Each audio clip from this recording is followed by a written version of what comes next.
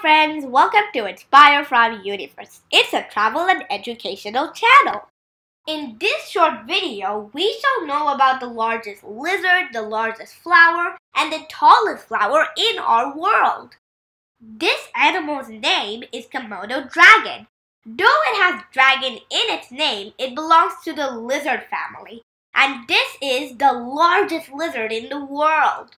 When we look at the characteristics, it can grow 10 feet long, can weigh up to 135 kilograms, it's a venomous creature, and it's also one of the endangered species in our world. As of 2021, there are only 6,000 Komodo dragons in the world. It has a strong sense of smell. It can smell its prey even at a 4 kilometer distance. Its tail is of the same length as its body and plays a significant role in catching its prey. Researchers believe with fossil evidences that its origin may be from Australia. Komodo dragons live in only five islands in our world, and around 2,000 of them live in one island. This island hence got the name Komodo Island. The beach sand is in a beautiful pink color. All these five islands are in Indonesia. Let us know about the world's largest flower, Rafflesia. It's a parasite flowering plant.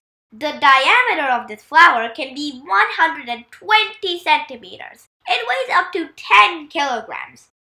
This plant doesn't have root, stem, or leaves. The only part visible of this plant from its host vine is its flower. This has a rotten flesh smell. This is called Titan arum.